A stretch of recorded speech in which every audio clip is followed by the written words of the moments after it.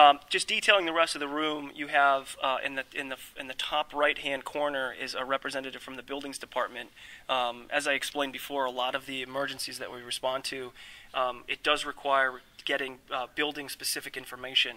So we have a representatives from DOB that's here, able to pull up building schematics and, and deliver it to our watch command supervisor immediately. Um, and then in the other two stations, those are our watch commanders who are on today, and they're monitoring either a specific borough or a specific emergency or both. Um, they're listening to scanners. We're plugged into um, NYPD, FDNY, FDNY EMS. Um, so if they're if they're hearing something where they think we need to know a little bit more as to what's going on, we'll send out, as I described, one of our CICs, our citywide interagency coordinators, um, who will respond out to the scene and will relay information back to uh, to the watch commander or to the watch command supervisor. And of all days, uh, this has been a couple of weeks getting this together because you never know when there's going to be an emergency. I'm, I'm, I, I pictured us sitting in a room and all of a sudden the phone rings and you got to go. Oh, an emergency. I mean, that can, emergencies uh, and that, are it, like that. Yeah, it's, you know, Yeah. one minute it can be really quiet, and the next minute you have a uh, commercial airliner landing in the Hudson River. Hudson So- River, yeah. Or a helicopter crashing in the East River. Right, right. I've seen enough of those. As a matter of fact, I go back in New York with the Pan Am building, the helicopter that crashed off the, and that was the end of landing on the Pan Am building. Sure. Uh, here in the city. Now, I'm, oh, there's a commercial on going right now, uh, but this is a big news day and, and worldwide because Gaddafi uh, supposedly has been killed. That's what I've I've seen in the news. Yes. It's been on the news. So this could prompt some sort of reaction in New York. It might. Again, it- it it's could be- It's not something that the Office of Emergency Management would Right. be involved in unless there was a specific request from another city agency for us to provide some support. Um, but yeah, potentially there there could be. How often do you get the? Uh, let's go back to Hurricane Irene a little bit and uh, the earthquake. How? What was your? What? What happened on that occasion? What was your? Was there? A, what, did they need a response from you? Did they need your help? And and and how did it? Me specifically? Not well, you specifically, but the office as well. Okay. Um, was there a need for uh, Office of Emergency? Absolutely, Management for that? absolutely. So what? What? what We, we, we helped to coordinate the entire the entire operation. As you know, we evacuated Zone A, um, you know, which was the low-lying areas. So we opened up um, shelters. We sheltered people um, in New York City. It's the first time that uh, New York City has done this before. So it was a huge undertaking, and we helped to coordinate the entire operation. I mean, that's through the help of, you know, uh, FDNY and NYPD. All right. And of course, the buses were set up to bring people out of the low-lying areas. Uh, so you, so that was your your Yes. role. That was OEM at that. We point. have we have a, a, a we have detailed plans that the city has written. Um, we don't share those, you know, with the public, but we have detailed plans that we've written on how to evacuate low-lying areas in Lower Manhattan and how to evacuate nursing homes, dialysis centers, um, you know, hospitals um, that are in those affected areas, especially out in the Rockaways. Is there anything you can share with us at this point on the, and without going to some of the evacuation, without without Well, we have to look at the event, um, you know, multiple hours out because what happens is, is it's our our commissioner Joseph Bruno who makes the recommendation to Mayor Bloomberg by saying, "I strongly feel that we need to be evacuating these nursing homes or these hospitals or these shelter or these dialysis centers." Um, so it, it's it's something that we look at very closely, and we have to be able to pull that trigger in enough time to be able to get all of those people out before, as we call it, ground zero, before the storm actually hits in that specific area. So uh, there's a lot of um, there's a lot of planning that goes into this, and we made the recommendation to evacuate, and uh, the city did. We evacuated, and we tell people, listen to the experts, trust what we're saying, monitor the news, and if we tell you to evacuate, evacuate. Because if you wait too long, then you might not be able to get out. So the evacuation call came from inside. Not it didn't come to you. It came from your building. In other words, the evacuation was your your recommendation. That's what our office, our planning and preparedness unit. That's what they. Uh, that's what they were working on. That's what they work on every day. Is these cor- these detailed plans, and it was, it was the recommendation of this office to the mayor to uh, to evacuate those low-lying areas. When you look at it now, was that was that the proper reaction? Was there what what happened in low lying areas? What is was was it was it it becomes because I, I I living down in South Carolina for the last few years. When I hear Category One, you know, you're going about your business and that's it. But Category One could be something completely different. Well, at the time, it was it, it was it was a Category Two hurricane that was going to hit New York City. So, um, and that's something that we take very seriously. Um, so, looking back on it now, yes, it was the right decision to evacuate. Sure, it's always Absolutely. safe is always uh, better than sorry. Sure. Okay, so um, now uh, I'm gonna. I found some of the brochures. We Ready New York flooding for pets. And let's talk about. Let's talk about some of my favorite people, pets. Let's talk Sure. about Ready New York for pets. I see some parrots here. a Yeah, puppy and a absolutely. We have a whole Ready New York program, and, it's, right. and it's everything from uh, Ready New York Business, Ready New York Seniors, Ready New York Pets. We have a household guide. Um, it's a, it's the idea of, as I indicated before, of of teaching people to be prepared before an emergency happens. And as part of it, um, it's for pets. I mean, peop I you know I have a dog. I consider you know my dog a part of my family. Um, so these are these are simple, easy steps that you can use to plan and prepare. If you have to leave your home, you have to leave your apartment, things that you should have for your pet if you need to relocate. Okay, evacuating your pet. I see a parrot up there, and a gecko. Geico, gecko. Gecko. Geico. Yep. Okay, give us a couple of pointers on evacuating your parrot. Like, come on, would be. I mean, Your that work? Well, you know, we encourage people to make sure that you have a, uh, a carrying case for your pet, uh, so that way, if you do have to leave, you have a, a you know a way of being able to transport uh, the animal. Making sure that you have enough food uh, for the animal, so that if you do have to stay in a shelter for a few days, there is food. But I will tell you. Um, we did. I I don't have the exact number, but I know we did.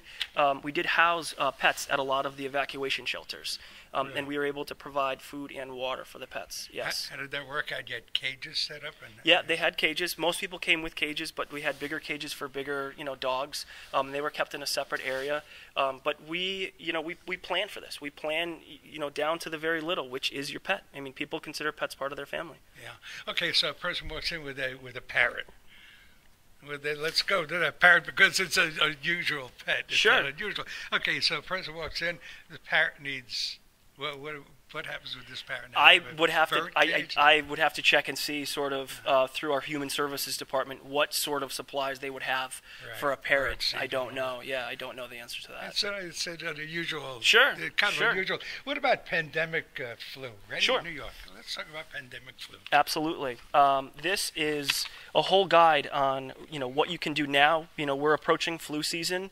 Um, it describes um, sort of how vulnerable people can be, um, steps that people should take. Uh, we encourage people stay home if you're sick. Don't send your children to school if they're sick. Um, you know, keep your distance from other people that are sick. Washing your hands is very important. Um, that's a very easy way for germs to be spread. Um, and it's it's talking about also um, where you can go to receive a flu shot. It's uh, it, it's important. You know, we are we're right at, at flu season right now, um, and it's it, we, we we discuss sort of the, the signs of, uh, of of flu, what you should look out for: fever, headache, chills, extreme fatigue, dry cough, sore throat, runny or stuffy nose, body aches. Um, all signs that people should look out for if they feel that they're coming down with uh, with the flu. Right. Again, give a website where people can actually people can sign up. And uh, actually, it doesn't only work for New York; it works for anywhere. The, the, this basically is it, it, it applies to all cities. Well, the best In a way. the, to, to get information, we all of these guides that we have, um, you can download from your computer. If you go to www.nyc.gov/oem, all of the, the guides that we have, uh, you can download. Um, so everything that we're taking a look at right now, you can view right online. Okay, and again, the address, the website. It's www.nyc.gov/oem. Okay. Okay. Now, uh, uh, we're gonna. We won't be much longer, but I do want to kind of take a, a sweep around the room for a Sure. moment. But I do want to say something that, and again, I guess you're you don't. This would not be your area of, of, of, of emergency, But uh, while in town, and folks that have been listening to New York City Visions uh, for a while uh, know that when I come into Brooklyn, I stay with a couple of friends, uh, Pam and Steve, and I on one occasion I, I took care of their cats while they were away. Well, uh, two Mondays ago, October the I think it was October the first, uh, October the third.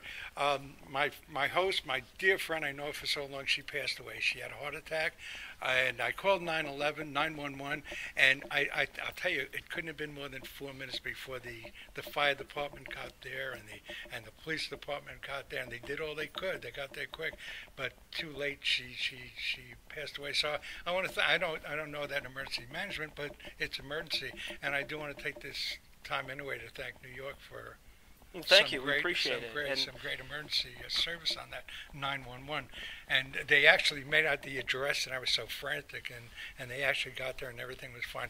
So I just want to well, that's what sort they're, of a goodbye to you know, my friend the, that's what they're in the business of doing. And you know, we like to think here in New York City that we're blessed to have the world's greatest police department, the world's greatest fire department.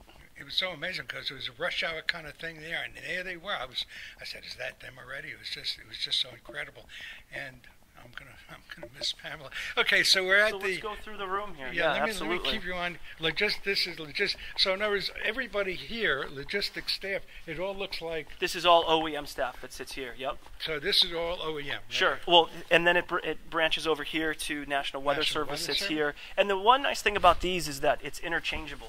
So if we need to take out the, you know, the Office of Management and Budget, this slides right out, and we can put in another card that's listing, you know, another city agency. So And this is set up so that the uh, the main the main dais over there is where your folks sit, and you can kind of coordinate as well, you go. our the, the podium right up here um, Oh, okay. is where all of the OEM staff sits. So if it's the red team that's up, red team members are going to sit up here. If it's blue team or white team, they're going to sit up here.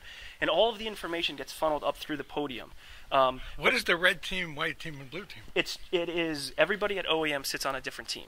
So um, you're like right now, I believe it is the blue team that's up. So if there's some sort of emergency, I know when um, when the helicopter recently crashed into the East River, right away we activated our situation room. So we had a limited activation um, with representatives from the red team, um, and it's everything from uh, transportation infrastructure, infrastructure, uh, logistics, human services. Um, if there's anything that, that's going to be needed at the scene or moving forward, it's our job, our role to be able to coordinate that.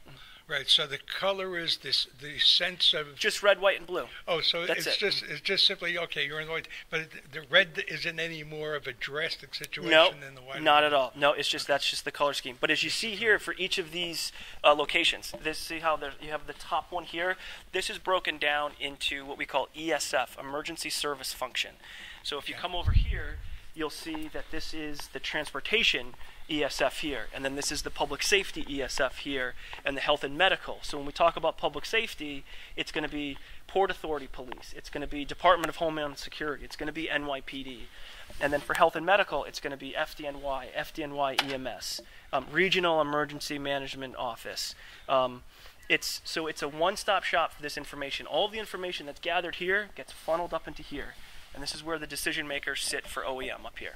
Okay, paint the picture of the room. Uh, we're, we're just about at the center of the room. Uh, what's the shape of this? Uh, Like an oblong kind of thing? Yeah, it's we we call it's the podium, but we sort of Podium. refer to it as the boat because it looks like a boat. Is it oblong? It looks like it, yeah.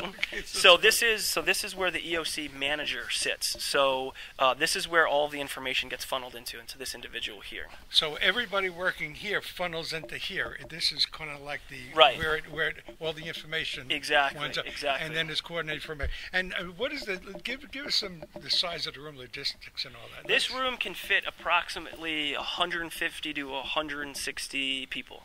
Right. It's big. You can, as I said before, you could run the entire city out of this room if you had to. What is the what is the most what is the most what is the busiest biggest emergency you've you've been a part of here at OEM? What what In the what's field ultimate- or or in the office? in the field I know. the